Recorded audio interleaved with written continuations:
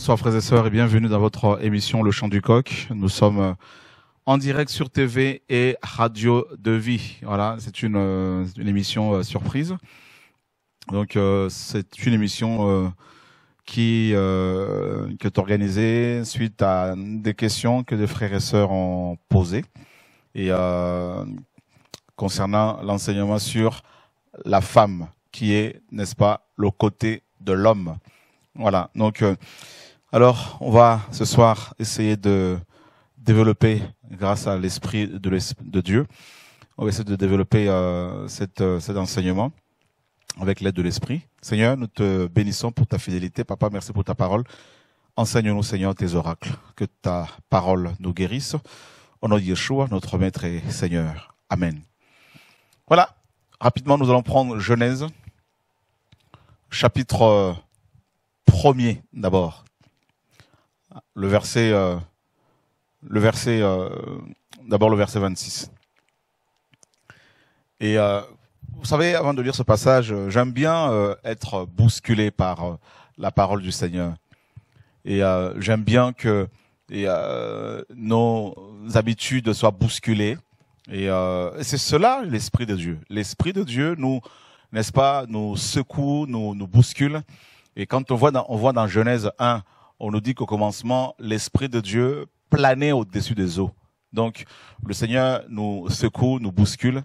Et euh, voilà. Donc, euh, la religion, c'est quoi? La religion, euh, c'est l'image de la religion est, celle d'un lac. Vous voyez, il n'y a pas de mouvement, il n'y a, pas de courant. Et alors que la vie de Dieu, l'Église, c'est vraiment c'est la rivière, c'est une rivière qui coule. Vous voyez, c'est un fleuve. Et euh, donc, on peut être bousculé, voilà. Et euh, je crois que le Seigneur va le faire de plus en plus. Et, euh, et c'est cela aussi l'esprit du réveil, vous voyez, la réforme, tout ça. Et pendant des années, c'est vrai que nous avons cru que la femme était juste une, juste un bout d'os, vous voyez, de l'homme, et faisant d'elle un être non égal à, à, à l'homme. Et, et, beaucoup d'hommes, malheureusement, beaucoup de chrétiens, même des frères, hein, des, des, des, hommes, des pasteurs, et euh, pense que la femme euh, est juste un objet et euh, ou encore un être qui est appelé à, à, pondre, à faire des enfants et à faire à manger et puis des courses tout ça, alors qu'elle est plus que ça, n'est-ce pas? Donc et elle est vraiment la moitié de l'homme. Ah bah oui, mes amis, la moitié de, de l'homme. Et c'est ce que nous allons justement voir avec les Écritures. Mais avant de lire toujours ce passage, hein, avant de le lire, je voudrais aussi nous dire que la plupart des traducteurs de la Bible étaient soit influencés pour certains par euh, leur culture et euh, ou soit par euh, leur considération dénominationnelle. Vous voyez, c'est des gens qui étaient soit baptistes, pentecôtistes, tout ça, et, et d'autres encore, d'autres étaient influencés par le côté macho, machiste de l'homme, tout ça. Donc du coup, ben, certains passages ont été traduits euh, euh de manière vraiment euh, euh, erronée ou aléatoire. voilà, voilà. Donc le Seigneur nous enseigne. Donc c'est vraiment magnifique de, de, de, de, découvrir des choses en lisant les, les, Écritures. Nous sommes dans Genèse chapitre 1er. On nous dit ici, puis Dieu dit, faisons l'être humain à notre image, selon notre ressemblance, et qu'il domine sur les poissons de la mer, sur les oiseaux du ciel et sur le bétail, sur toute la terre et sur tout reptile qui rampe sur la terre. Dieu créa l'être humain à son image. Il le créa à l'image de Dieu. Il les créa mâles et femelles. Waouh. Il a créé l'être humain mâle et femelle.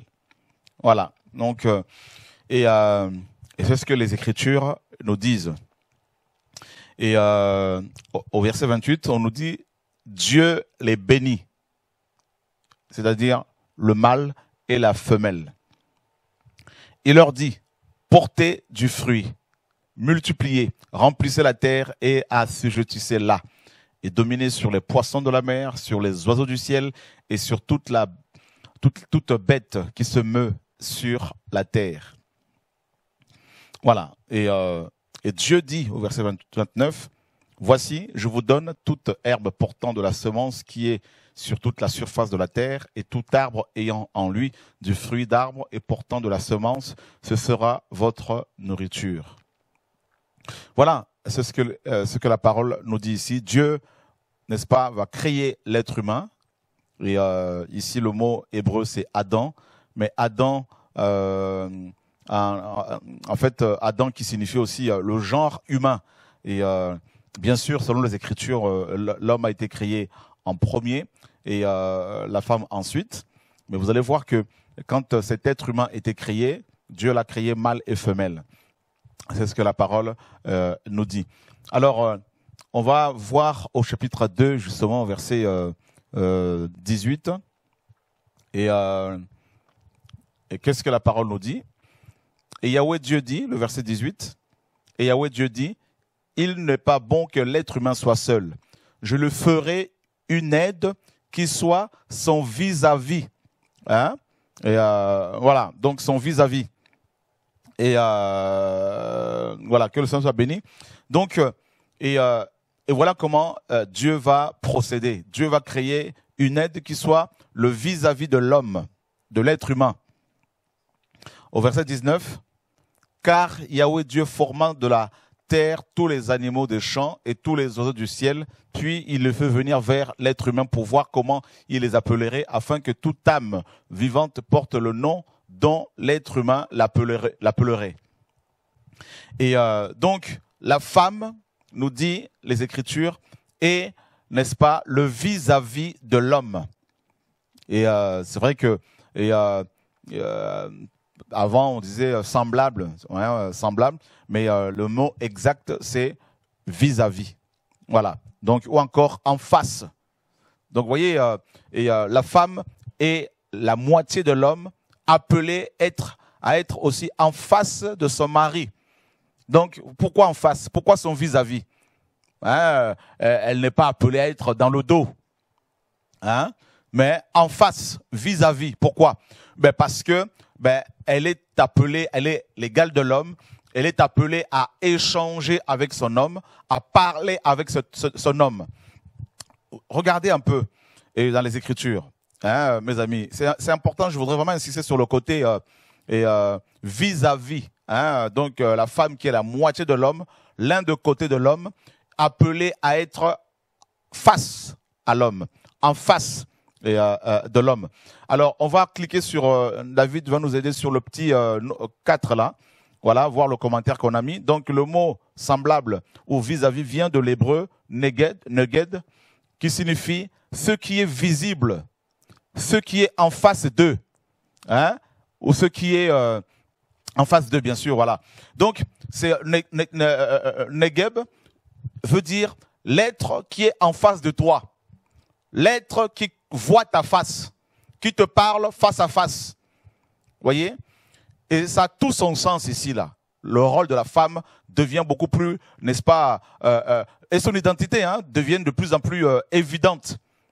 Donc, elle n'est pas un être appelé à contempler le dos de son, de son, son époux, mais la face de son époux et la face, et, son époux contemple sa face également. Vous avez vu quand Moïse va demander dans la Bible de voir la face de Dieu, Dieu lui a dit personne ne peut voir ma face. Aucun être humain ne peut voir ma face et vivre. Mais tu me verras par le dos. Hein? Donc on va trouver ce passage là, je crois que dans Exode 34, il y a beaucoup de choses à dire ce soir, mes amis, sur la femme et son identité.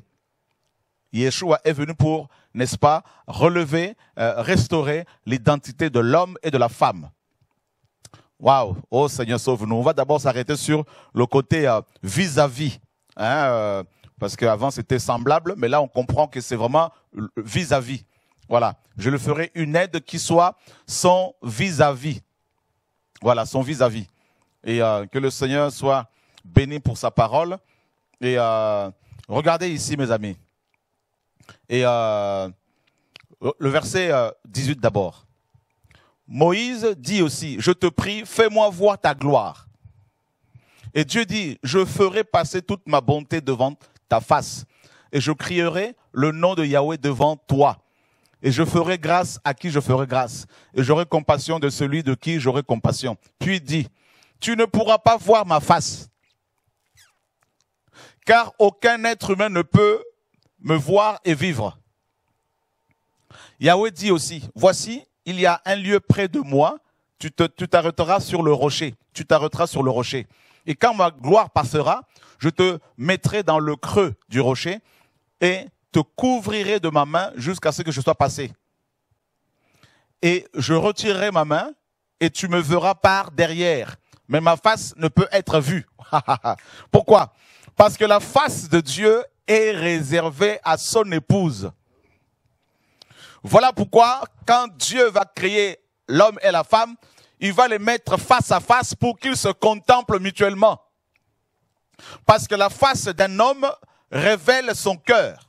Lorsque le cœur est joyeux, la face est, n'est-ce pas, rayonnant, rayonnante. Le visage est rayonnant, la face est rayonnante. Voilà pourquoi Dieu, quand Moïse lui demande de lui montrer sa face, n'est-ce pas Donc, Dieu dit à cet homme, tu ne peux pas voir ma face. Tu verras mon dos. Tu me verras par derrière. Ma face est cachée. Ma face, personne ne peut la contempler pour l'instant. Oh Seigneur. Et regardez mes amis. Regardez, Paul nous dit quoi? Paul dit que nous contemplons la face de, Christ. Voyez? Alléluia. Je crois que c'est dans 2 Corinthiens, quelque chose comme ça. Et euh, euh chapitre 2, tout ça. Donc vous voyez que et euh, le, le, le, Jean a vu la face de Christ. Jean a décrit la face de Christ. Hein? Et, et ça, c'est, magnifique. 2 Corinthiens 2, je crois, verset, chapitre 2, euh, 2 Corinthiens. Et voilà, c'est ça aussi. Et, euh, et euh, regardez ce que Paul dit dans 2 Corinthiens, chapitre 3, verset 18. Ainsi, nous tous qui contemplons comme dans un miroir la gloire du Seigneur à visage découvert. Nous sommes transformés en la même image, de gloire en gloire, comme par l'Esprit du Seigneur. On va voir aussi dans 2 Corinthiens 2, là, verset 14, je ne sais pas. Et, euh, et euh, voilà, donc euh, ben là, il est question de l'odeur de Christ plutôt. Voilà, donc c'est ça. Donc, euh, et, euh, et on va voir dans Apocalypse chapitre 1er, Apocalypse 1, comment Jean va décrire la face du Seigneur et qui est rayonnante. Et euh, regardez au verset 13. Euh, et euh, qu'est-ce qu'il dit au verset 12, pardon? Alors je me retournais pour voir celui dont la voix m'avait parlé, et après m'être retourné, je vis sept chandeliers d'or, et au milieu de sept chandeliers d'or, quelqu'un qui ressemblait à un fils d'homme vêtu d'une longue robe et ayant une ceinture d'or sur la poitrine. Sa tête et ses cheveux étaient blancs comme de la laine blanche, comme de la neige. Ses yeux étaient comme une flamme de feu voyez comment il a contemplé la face du Seigneur, comment il a décrit le visage de Dieu, de Yeshua, mes amis. Et cette face a été révélée à l'épouse. Parce que Jésus veut une relation de face à face avec son épouse. Voyez mes amis De face à face.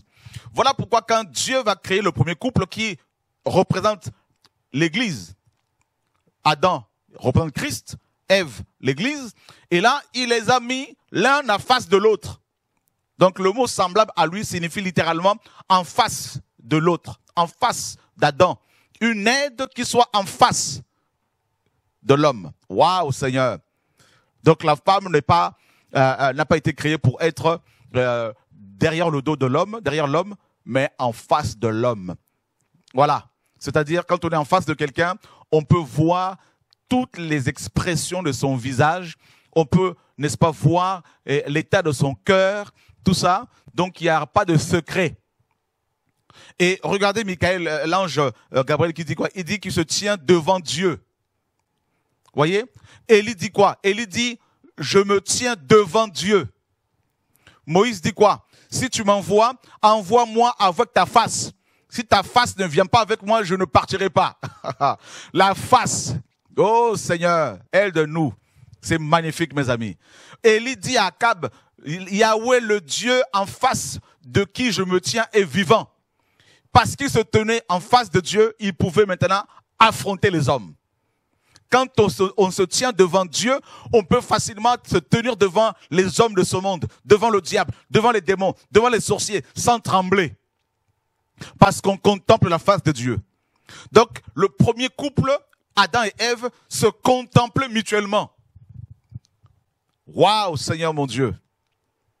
Waouh, parce que pour parler avec quelqu'un, il faut parler face à face. Voyez? Et la Bible nous dit que Dieu parlait à Moïse face à face, bouche à bouche. Vous comprenez mes amis?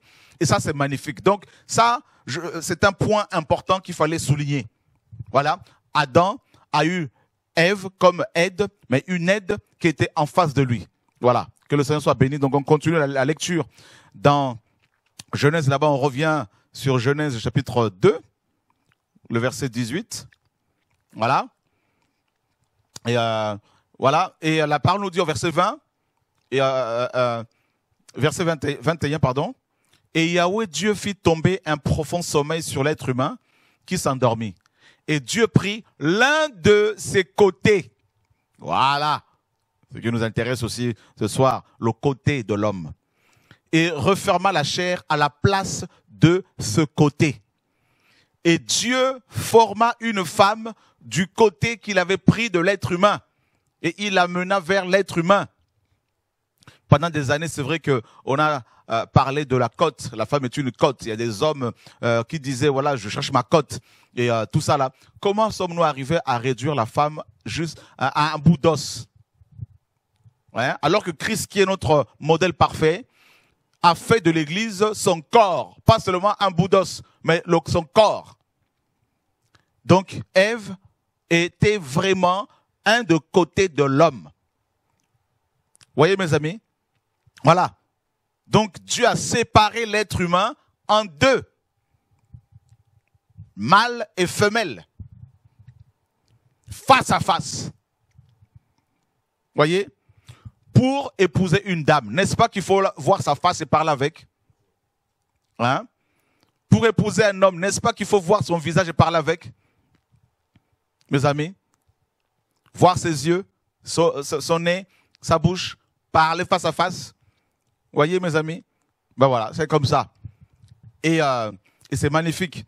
Donc Dieu va prendre un de côté de l'homme, mes amis, mes sœurs, vous n'êtes pas de bout d'os comme ça là, n'est-ce pas?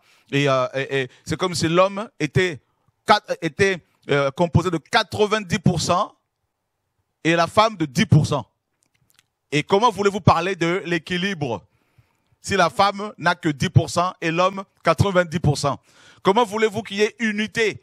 Or, quand on parle de l'unité, on parle de quoi? On parle de l'égalité il ne peut pas y avoir d'unité sans égalité. Ben voilà. Donc, la femme est bel et bien l'égale, est bien et bien l'égale de l'homme. Elle est égale à l'homme.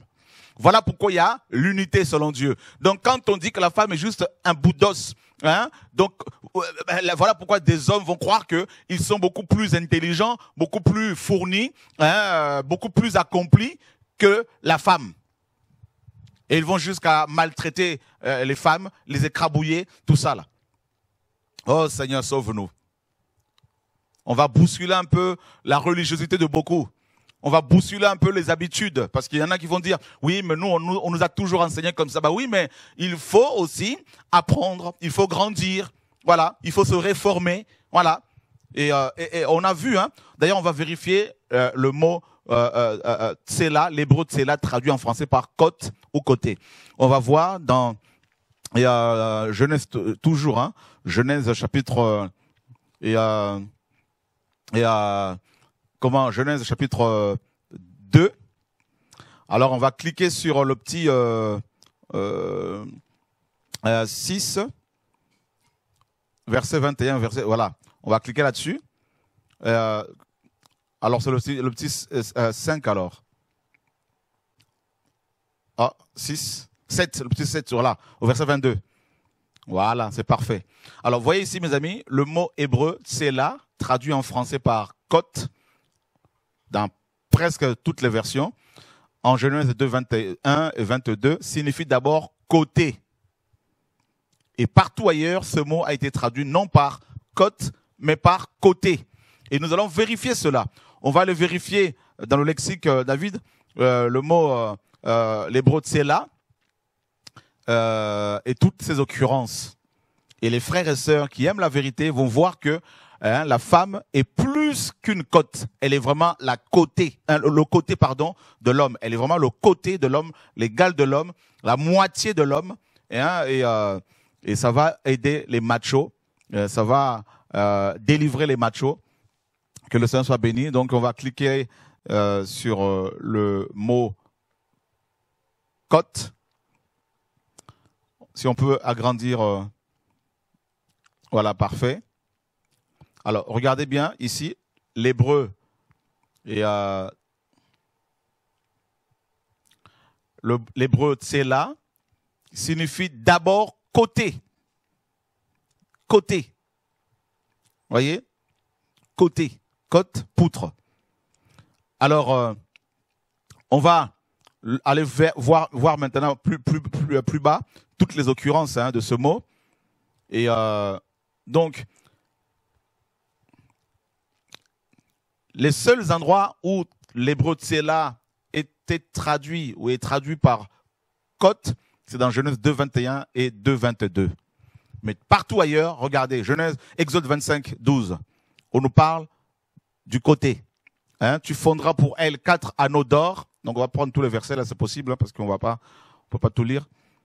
Donc Exode 25, 12. Tu fondras pour elle quatre anneaux d'or et tu les mettras à ce quatre coins, deux anneaux d'un côté et deux anneaux de l'autre côté. Waouh!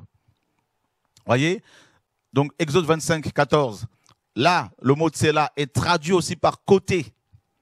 Exode 26, 20. Le mot tsela est traduit aussi par côté. Exode 26, 26. Donc à chaque fois, on va mettre ça en bleu, là, ce serait bien pour que les gens voient bien comme il faut. Donc, euh, Exode 26, 26, on voit bien que là aussi, on, on- on- le mot tsela est traduit par côté. Exode 26, 27, pareil, tsela traduit par côté. Exode 26, 35, tsela traduit par côté. Exode 27, euh, le verset 7, le mot tsela est traduit par côté. Exode 34, le mot tsela est traduit par côté. Toujours. Exode, on va prendre verset par verset, hein, c'est possible. 36, 25, le mot tsela et euh, le mot tsela est traduit par côté. Exode 36, 31 et euh, pareil par côté. 36, 32, le mot tsela est traduit par côté. Exode 37, le verset 3, pareil. Donc euh, le mot tsela est traduit, par côté. Exode 35, 37, 5, côté. Voilà. 37, 27, tsela est traduit par côté. 38, 7, par côté. Dans 2 Samuel chapitre 16, au verset 13, Da- on nous dit David et ses gens continuèrent leur chemin et Shimei marchait sur le flanc de la montagne près de David. Donc le mot flanc vient de l'hébreu tsela. Donc on sait que le flanc c'est le côté. Voilà. Donc vous voyez mes amis, et euh, le mot tsela, l'hébreu tsela, signifie plus euh, côté que côte. Voilà. Donc Dieu a pris l'un de côté de l'homme pour créer la femme. L'un de côté. Mes amis, c'est terrible. Et maintenant, beaucoup de gens ont été, comme nous tous, hein, induits en erreur parce qu'on a mal compris un verset, notamment le verset de, euh, Genèse 2, où Adam dit, euh, au verset 23, hein, alors l'être humain dit, celle-ci pour le coup est l'os de mes os et la chair de ma chair. Alors on se dit ici, voyez, donc Adam lui-même a dit que Ève est juste un de ses os, un os de son corps. Non, mais en fait c'est une expression, tout simplement. C'est une expression euh, que Adam utilisait ici pour parler de l'identité de la femme, pour faire comprendre ici aux gens que la femme, n'est-ce pas, au monde, que la femme est un être humain comme lui, tiré de lui, tout simplement. Voilà. Allons voir cette expression-là dans. On va cliquer sur le le petit nombre là sur euh, euh, voilà le 9 là. Il y a des euh, occurrences si on va, si on prend Genèse 29, le verset 14, Genèse 29, le verset 14, on va retrouver cette même expression, 29, 14, ici. Donc, euh, qu'est-ce qu'on lit? Et Laban lui dit, certainement tu es mon os et ma chair. Jacob demeura un mois entier chez Laban. voyez? Donc, Laban va dire que Jacob était son os et sa chair. Donc, il voulait simplement dire que Jacob était comme lui, était membre de sa famille. voyez, David va dire la même chose dans 2 Samuel 5. voyez, dans 2 Samuel chapitre 5, euh, je crois, David va dire la même chose. Et, euh, euh, voilà, donc, et qu'est-ce que, voilà, au verset premier, et alors toutes les tribus d'Israël vinrent auprès de David à Hébron et dirent, voici nous sommes tes os et ta chair. Donc vous voyez, cette expression-là est souvent utilisée hein, euh, euh, chez les Hébreux, donc pour parler de l'identité et de l'identification. C'est comme ça que les gens s'identifient. Et euh, voilà. Donc quand Adam, quand l'être humain dit que Ève était l'os de ses os, ou encore Ève était faite de ses os et de sa chair. Il voulait simplement dire que la femme était semblable, était pareille que lui, que la femme était un être humain. Donc, on nous dit au verset 23 euh, euh, de Genèse 2, alors l'être humain dit, celle-ci pour le coup est l'os de mes os et la chair de ma chair. On l'appellera femme parce qu'elle a été prise de l'homme. C'est pourquoi l'homme, c'est-à-dire Ish, Ish, quittera son père et sa mère et se joindra à sa femme, Isha. Donc voyez bien que l'homme ici c'est Ish, la femme Isha. Pour vous dire que c'est la même chose, ils sortent d'un même arbre, Ish et Isha. Voilà. Et la parole nous dit qu'ils deviendront une seule chair. Donc ils deviendront un. Attends, attends, attends, attends, attends. Pour devenir un, il faut que vous soyez, mes amis, euh, euh, euh, pareil. Hein, il faudrait que vous soyez vraiment. vous ne pouvez pas faire euh, de l'huile et de l'eau une seule chose. C'est pas possible. Ça ne peut pas se mélanger. Voyez? Alors, on va faire simple pour la bonne compréhension des uns des autres. Si nous divisons, on va trouver une calculette sur le net. Je ne sais pas si c'est possible. On va faire un exercice euh, de maths. Hein? Voilà. Donc, euh, et on va je ne sais pas si on peut trouver. Bon, voilà, parfait, David, merci. Alors, on va faire, David, 1 divisé par 2. Parce que les deux deviennent 1. 1 divisé par 2, ça fait 0,5. Vous voyez? Donc, la femme est l'égale de l'homme. Pourquoi? Parce que les deux deviennent 1 par le mariage. Donc, l'homme est 0,5 la femme 0,5. Et si vous mettez 0,5 plus 0,5, ça fait quoi? Ça fait 1. Voilà. on, repart, on, refait encore le calcul, mes amis. Dieu va nous libérer de mauvaises, euh, euh, mes amis, doctrines. Alors, on nous dit que l'homme et la femme deviendront un. D'accord? Une seule chair. Ça veut dire que la femme n'est pas 10%, euh, n'est pas composée de 10% de la chair de l'homme, mais de 50%. Et l'homme, 50%. La femme est composée de 50% de l'homme, de, de, de, de, de, os, de l'homme euh, euh, et, de, de, comment, de l'être humain et l'homme 50%. Et les deux là ont fusionné là et ça a fait un. Donc on refait encore le calcul. 1 divisé par 2. Ça fait 0,5. Nous sommes d'accord. Maintenant, nous faisons 0,5 fois, fois 2. 0,5 fois 2, ça fait 1. Donc, Dieu a séparé l'être humain par deux et ça fait mâle et ça fait un mâle et une femelle un mâle et une femelle.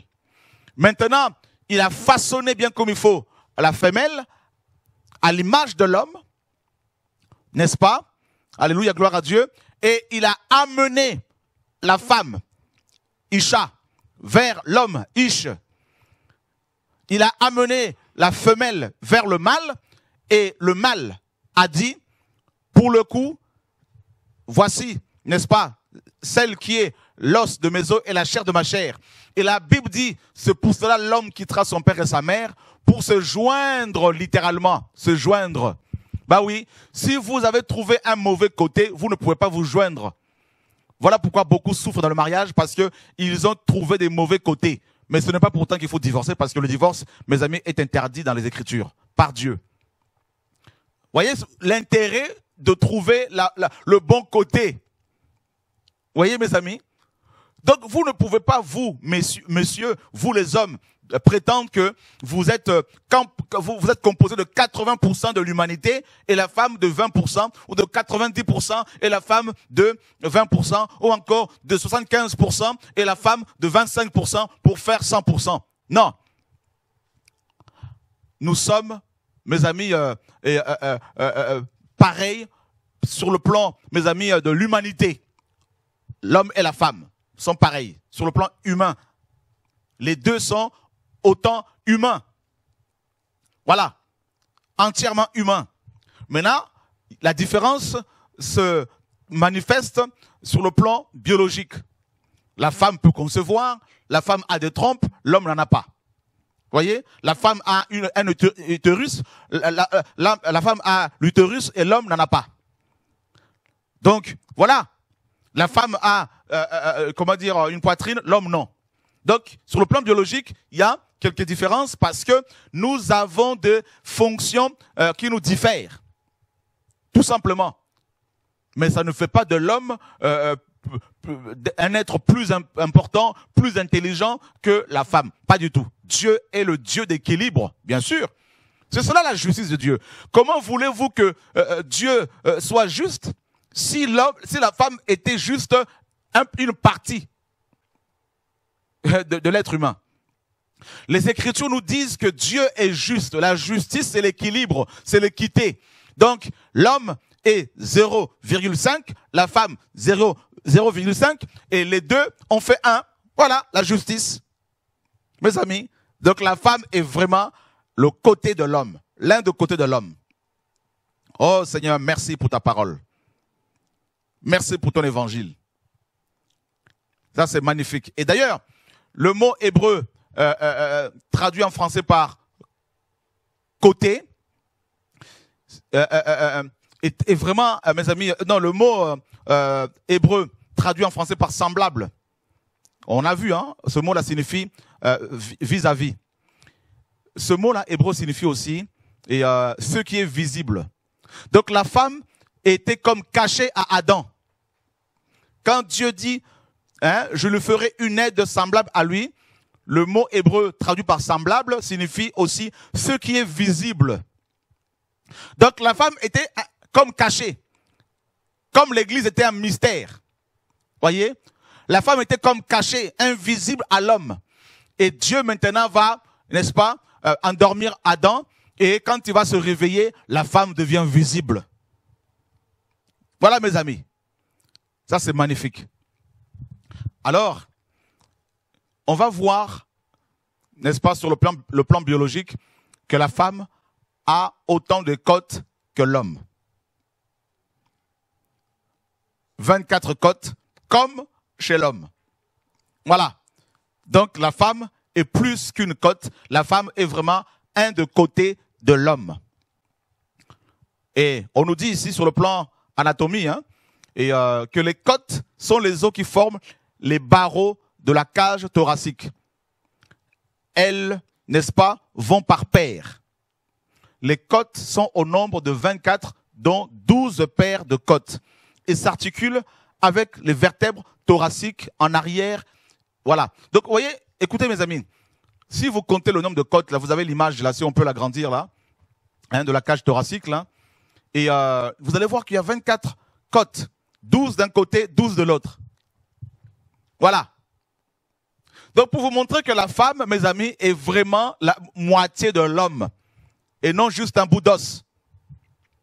Si vous comptez, vous allez voir qu'il y en a 12. Hein 1, 2, 3, 4, 5, 6, 7, 8, 9, 10, 11, 12. 12 d'un côté, 12 de l'autre. Voilà mes amis. Voilà. Et ça, c'est magnifique. Et vous allez voir également sur le plan euh, des chromosomes, tout ça. Et euh, pareil, hein, on va vérifier ça aussi. Et euh, je ne suis pas scientifique, mais on veut quand même aider les frères et sœurs avec ces informations pour qu'ils comprennent que la femme n'est pas un être inférieur à l'homme. Chaque cellule somatique humaine possède 22 paires de chromosomes homologues également appelés autosomes numérotés de 1 à 22 et une paire de chromosomes sexuels également appelés hétérochromosomes ou gonosomes, soit au total de 23 paires. Le sexe d'un individu est déterminé par le système XY. Les femmes possèdent deux chromosomes XX, tandis que les hommes possèdent un chromosome X et un chromosome Y. Donc vous voyez bien que la femme en a deux ici, l'homme deux. Et Maintenant, quand euh, l'homme et la femme vont avoir un enfant, chacun des parents va donner un chromosome à l'enfant. Donc toujours la moitié. Vous voyez? Donc pour vous montrer que la femme est vraiment la moitié de l'homme, mes amis, de l'être humain. Oh Seigneur, sauve-nous, délivre-nous. Voilà, frères et sœurs. Voyez? Et, euh, et euh, donc, le Seigneur est en train de nous enseigner autrement, de nous faire comprendre les choses autrement. Et euh, voilà, maintenant, beaucoup vont dire, mais oui, mais mon frère, si tu dis que la femme est l'égale de l'homme, la femme est, euh, est la moitié de l'homme et le côté de l'homme, eh ben, beaucoup de femmes ne vont plus respecter leur mari. Mais arrêtez de dire ces choses, de parler comme ça, frères et sœurs. Il y en a celles qui ne vont pas comprendre cet enseignement, ben, c'est dommage. Et euh, au contraire, quand on comprend la parole de Dieu, ben, euh, on, découvre son identité en même temps. Et euh, ben, quand c'est comme ça, ben, on, se fait respecter. Et, euh, et vous savez, quelqu'un qui, connaît son identité, quelqu'un qui sait qui il est, d'où il vient, c'est une personne qui ne va pas être facilement manipulée. Voyez, la femme qui comprend son identité, c'est une femme qui ne va pas dérespecter son mari ou les hommes. Au contraire, elle va réaliser que ces hommes-là ont besoin d'aide. Voilà. Euh, et, elles vont prier encore davantage pour les hommes qui sont machos. Et l'homme qui comprend qu'il n'est que la moitié de la femme, euh, euh, comment, il est, il est un une moitié et la femme une autre, et que les deux sont, mes amis, complémentaires, et cet homme-là ben, va être davantage dans l'humilité. Hein, surtout ceux qui pensaient qu'ils étaient composés de plus de 80% de l'humanité, que la femme n'en avait que 20. Donc tout le monde va se retrouver dans l'humilité logiquement. Et je vous disais que euh, euh, euh, le mot traduit en français par semblable à lui, hein, une aide semblable à lui, signifie une aide qui soit son vis-à-vis. Et donc une aide qui soit en face de lui. Et regardez mes amis dans les Écritures. On a vu la reine Esther qui disait, hein, qui pouvait dire, euh, euh, qui disait aux, gens que le roi euh, Assuérus ne voulait pas que les gens paraissent devant lui n'importe comment.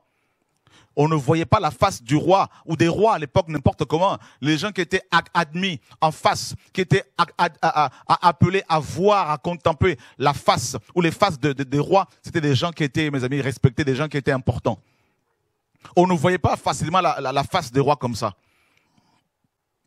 Mais dans un mariage, l'homme et la femme sont appelés à se contempler mutuellement. Et ça, c'est magnifique, frères et sœurs. C'est beau de voir à quel point Dieu nous aime. La femme est une créature magnifique, merveilleuse que Dieu a, façonnée. Elle n'est pas un être inférieur qu'il faut blesser, écrabouiller, rejeter. Hein?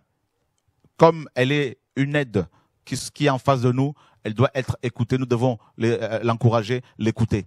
Euh, et, que les femmes qui réalisent qu'elles sont, euh, mes, amis, les moitiés des hommes, ces femmes-là ben, doivent et aussi comprendre leur rôle et prier pour ces hommes, supporter ces hommes, prier pour ces hommes, encourager les hommes.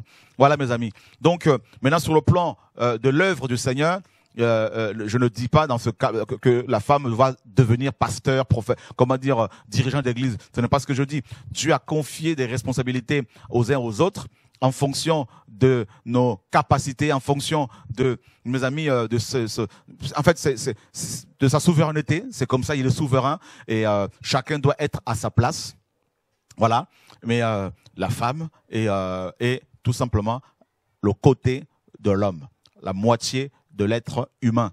Et c'est pour cela que, que Dieu dit qu'il n'est pas bon que l'homme soit seul. Bah oui, parce que si l'homme était seul, il serait juste un côté c'est-à-dire côté totalement masculin, sans le côté euh, euh, euh, féminin, tout ça.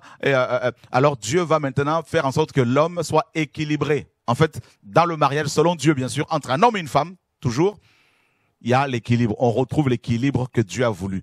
Un mariage qui vient de Dieu, entre un homme et une femme, est un mariage hein, qui apporte l'équilibre dans la société. Voyez? Dans les églises. Et combien de gens, mes amis, dans les églises euh, euh, ne, pleurent-ils pas Parce qu'ils se sont retrouvés avec des mauvais côtés? Quand on s'est euh, mis avec quelqu'un qui n'est pas ton côté, tu ne pourras pas t'emboîter véritablement. Tu vas dire A, l'homme va dire B, Z, la femme va dire A, le mari va dire autre chose, tout ça. Donc il y aura toujours des divergences, des conflits, des problèmes, et beaucoup pleurent à cause de cela. Voilà pourquoi mes frères et sœurs, avant de vous engager dans une relation amoureuse, cherchez à connaître la volonté du Seigneur. Demandez au Seigneur si la personne est vraiment votre euh, euh, côté, votre moitié. Voyez? Vous savez, quand vous mettez un aimant avec du fer, ça a tendance à s'attirer l'un vers l'autre. Parce qu'ils sont de la même nature. Ça ne se repousse pas. Quand vous commencez à vous repousser l'un de l'autre, c'est que ça va pas. Voyez? Et c'est pour cela Yeshua a dit que l'homme ne sépare pas ce que Dieu a mis ensemble sous un joug. Parce que vous ne pouvez pas séparer, mes amis, euh, quelque chose qui s'est emboîté naturellement. Donc, on ne voit plus là où on a mis de, la colle, parce que ça devient un même corps. Voilà pourquoi il est impossible de divorcer les gens, parce que si on divorce un, couple, c'est comme si on vous coupe la moitié, et là vous mourrez. C'est comme si on vous divise par deux avec une épée. Voilà pourquoi Dieu dit qu'il ne faut pas séparer. Voilà. Allons voir cela dans Matthieu, chapitre 19, le verset 10. Là, on comprend encore mieux. Ah, je comprends pourquoi Dieu dit qu'il est la répudiation, c'est-à-dire le divorce. Parce que on ne peut pas séparer un corps uni par Dieu. Et parce que si on sépare, ben forcément c'est la mort. Forcément c'est la mort. Voyez? Matthieu 19, le verset et, 6, le Seigneur dit quoi? Et euh, ainsi, ils ne sont plus deux. Ben oui, parce que les deux côtés, 0,5 plus 0,5, ça donne 1. Et 1 devient indivisible. Hehad, en hébreu. Et euh, ainsi, ils ne sont plus deux, mais une seule chair. Que l'homme donc ne sépare pas ce que Dieu a mis ensemble sous un joug. Voyez? Ah, regardez le verset 10. Ses disciples lui dirent, si telle est la condition de l'homme à l'égard de sa femme, il ne convient pas de se marier. Parce qu'ils ont compris qu'ils ne pouvaient plus être polygames. Parce que quand Dieu a créé Adam, il n'a pas créé avec plusieurs côtés. Euh, euh, euh, il a créé avec, mes amis, il n'a pas donné, il n'a pas donné à Adam plusieurs côtés. Hein. Il a donné un côté à l'homme, c'est sa femme.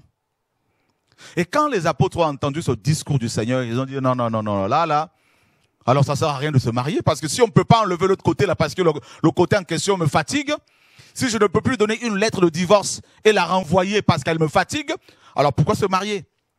Eh ben Jésus dit, eh ben vous n'avez pas le choix en gros. Hein. Le message a changé. Vous avez appris, mais moi je vous dis, que vous n'allez plus donner, que vous ne donnerez plus, vous ne devriez plus donner de lettres de divorce à vos femmes. Désormais, si vous épousez une femme, c'est jusqu'à la mort, jusqu'à la, jusqu'à, jusqu'à l'éternité. Mes amis, donc la femme est vraiment le côté de l'homme. Que Dieu soit béni, frères et sœurs. Elle est plus qu'un os, elle est la moitié de l'homme. L'homme est une autre moitié, et les deux moitiés mis ensemble et ça fait un mariage magnifique, une famille glorieuse et Dieu est glorifié dans tout cela. Que Dieu soit béni au nom de Yeshua, mon frère, ma soeur, ta femme est mise devant toi et toi devant elle et ensemble discuter, dialoguer, prier l'un pour l'autre au nom de Yeshua. Que Dieu vous garde. Au revoir.